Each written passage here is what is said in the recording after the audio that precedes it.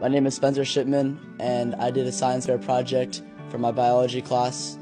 Uh, I'm a freshman in high school, and the science fair project was on the effect of essential oils, clove bud, and oregano, and an antibiotic, amoxicillin, on the growth of uh, bacteria. And pretty much amoxicillin, if you don't know, is an antibiotic that is commonly prescribed by doctors to kill bacterial uh, issues such as strep throat, that kind of thing. And when I went to go tell my teacher uh, my idea, she was very hesitant about the idea because she pretty much assumed that the uh, amoxicillin would kill more bacteria than the essential oils would. And because my own experience with the oils killing, uh, helped to kill my Crohn's disease. Uh, and so I told her that I think it would work better. So uh, she said I could go ahead and try it out and see how it would work. Uh, so pretty much how I did the experiment.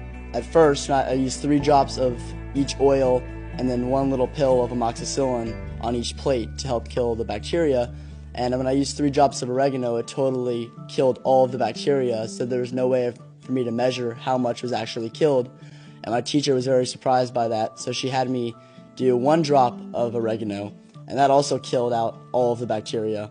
So she had me use a micro pipette, and that still killed more bacteria than the amoxicillin did.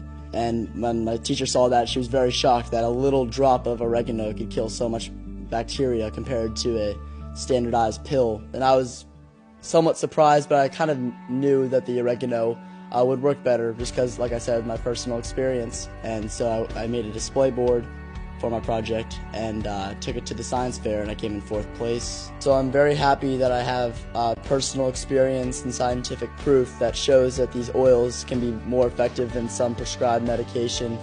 Um, I'm very happy because I can take these without any side effects and I can continue to do the things I like to do such as play sports and hang out with my friends without any problems at all.